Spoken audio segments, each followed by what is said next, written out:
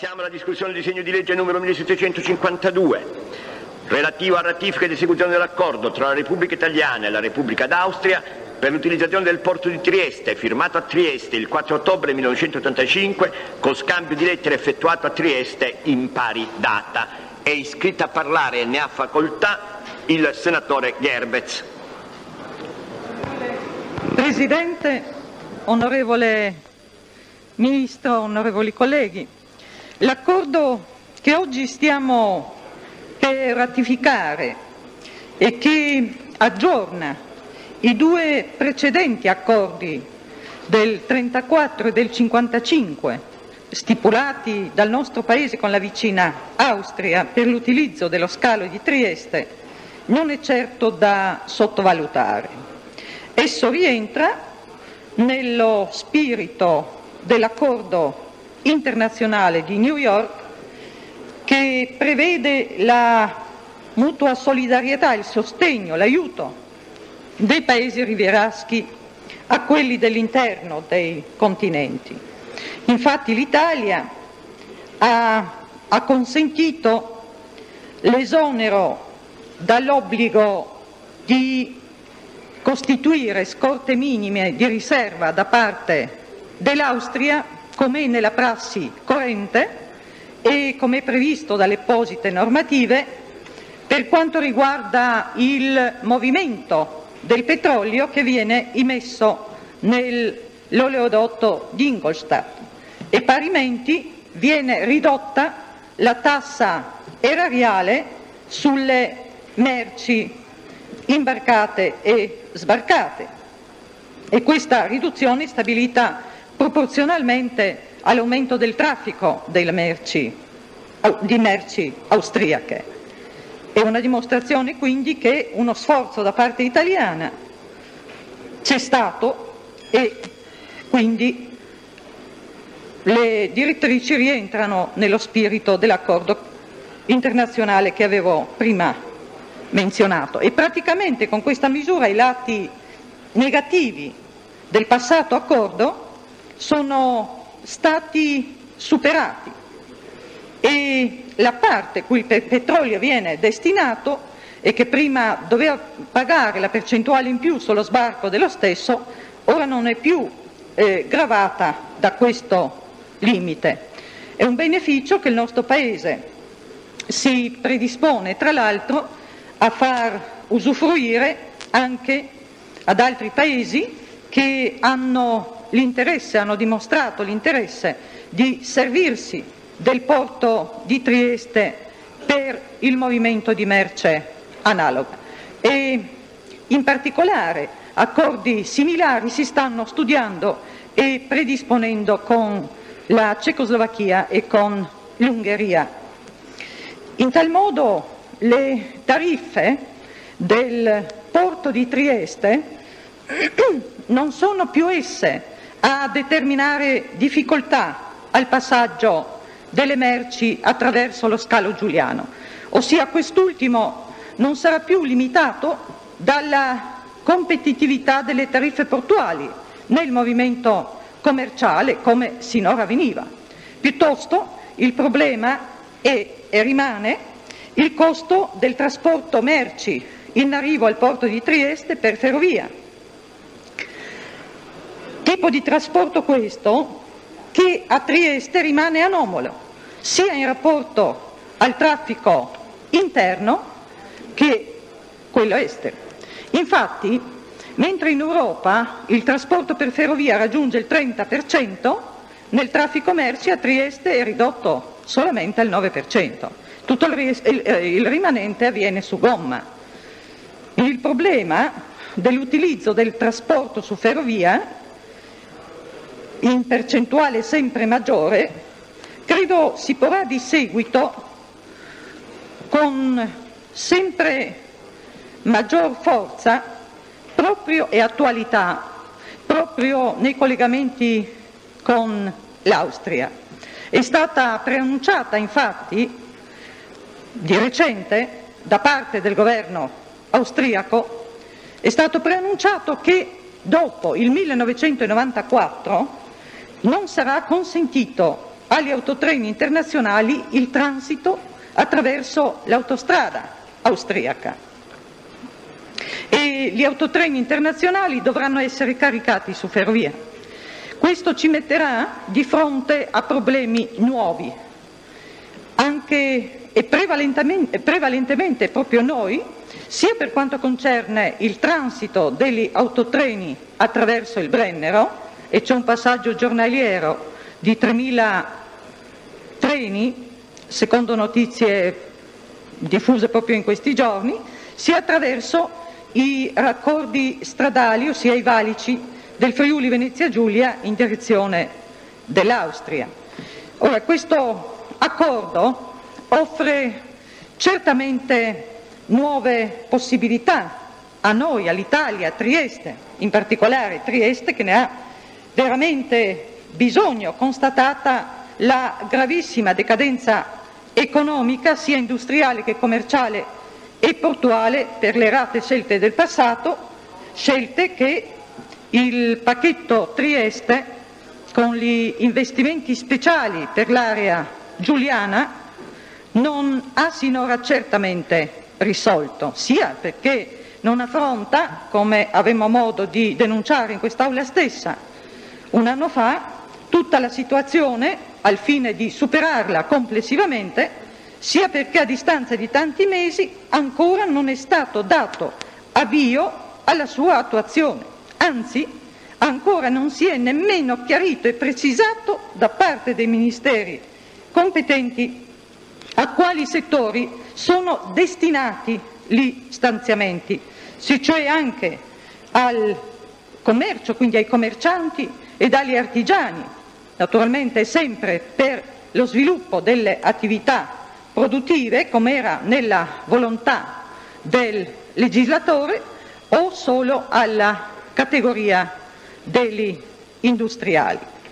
E ancora il Ministero pertinente, dopo tanti mesi di attese, di sollecitudini, di richieste, non si è espresso, non ha fatto pervenire le categorie interessate, nemmeno alle organizzazioni sindacali che lo richiedono ed alle istituzioni che devono poi erogare gli importi stanziati, la necessaria interpretazione che consentirebbe di procedere, di dare l'atteso ossigeno a questa città per farla rivivere, per farla diventare un centro competitivo in quel versante orientale del nostro Paese, per farla affermare e farle svolgere il ruolo di raccordo sul confine, di ponte tra gli interessi economici nazionali e gli interessi economici dei Paesi vicini. Con l'accordo oggi in ratifica le possibilità di movimento commerciale attraverso Trieste certamente aumentano e quindi aumentano le possibilità di sviluppo di una zona che abbiamo convenuto tutti in tutte le sedi nazionali, locali, regionali e che è un problema e deve essere considerato un problema nazionale.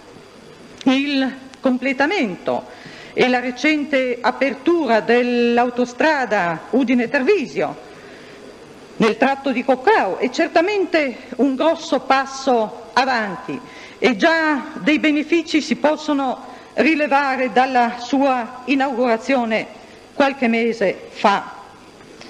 Ma naturalmente questo non basta, l'obiettivo eh, competitività è legato a problemi di qualità, è legato a problemi di quantità del traffico e il persistere nelle scelte del trasporto su gomma dal porto di Trieste verso l'interno produce conseguenze negative, perciò è necessario rivedere i costi e il sistema del servizio ferroviario nel collegamento marittimo, eh, cioè nel collegamento del movimento marittimo con quello terrestre, come d'altra parte è necessario eh, rivedere, eh, liberalizzare snellire le procedure doganali per le merci in transito, completare e rendere efficienti, più efficienti di quanto non siano oggi tutte le strutture, come il caso del Molo Settimo e delle rimanenti strutture. E perché no imporre la cultura del transito, come da più parti si richiede, che scarseggia e che spesso non esiste, per certi versi non esiste.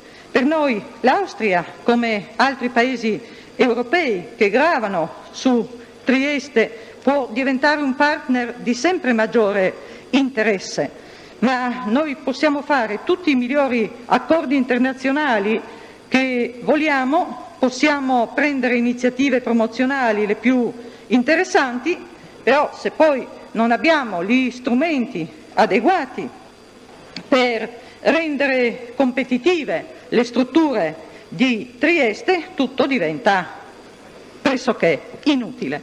Ecco perché è importante che il Governo, che mi sembra sia sparito in questo momento, si impegni, che si impegni Segretario Cattani. Grazie, va bene. Prego. Che si impegnino le amministrazioni locali, che ci sia una reale volontà politica di superare presto e tutte le difficoltà eh, esistenti.